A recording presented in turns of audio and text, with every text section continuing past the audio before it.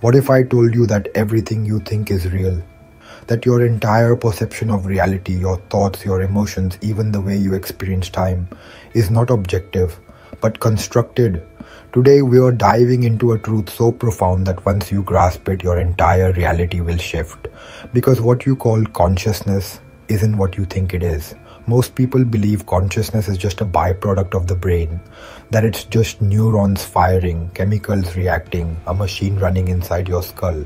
But here's the problem with that idea. If consciousness was just a product of the brain, then why can't neuroscience find the source of it? Despite decades of research, scientists still can't locate where your thoughts originate. Why? Because consciousness is not produced by the brain. Instead, the brain is more like a receiver, tuning into a larger field of consciousness that exists beyond the physical world.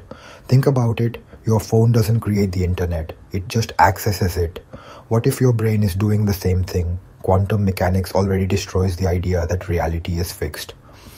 The double slit experiment shows that particles change their behavior when observed. This means that consciousness doesn't just passively witness reality, it actively shapes it.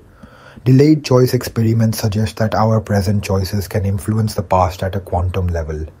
Near death experiences and consciousness studies have repeatedly documented cases where people accurately recall events while their brain was clinically dead. This means one thing consciousness exists independently of the physical body.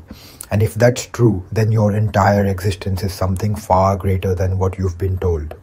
What this means for you, let's get personal. You've been conditioned to believe you're just a body with a mind, a biological machine with no real power beyond what's inside your skull.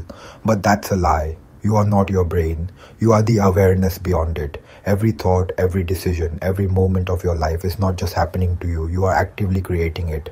Your consciousness is the projector. Reality is the screen.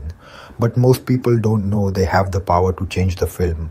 And that's why they stay stuck in lives they don't want. Now that you know this, the question is, how do you use it? Step 1 Control your observations. Since reality responds to consciousness, start controlling what you focus on. Every thought is a quantum instruction. Negative thoughts reinforce limitations, while intentional focus on possibilities reshapes reality. Step 2 Reprogram your mind. The subconscious mind is the gateway to deeper consciousness. Practices like meditation, visualization, and affirmations work because they shift the patterns of what you're tuning into. Step 3 Expand beyond the physical. You're not just a body, you're an energy field interacting with reality. Your thoughts, emotions, and intentions literally alter the quantum field around you.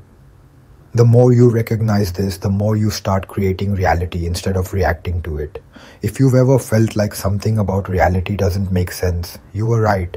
The world has conditioned you to believe in limits, to believe that your thoughts are private, that your actions are insignificant, that your life is random. But once you understand the mind altering truth about consciousness, you realize nothing is random, everything is connected, and most importantly, you are in control. So now the only question is what will you do with this power?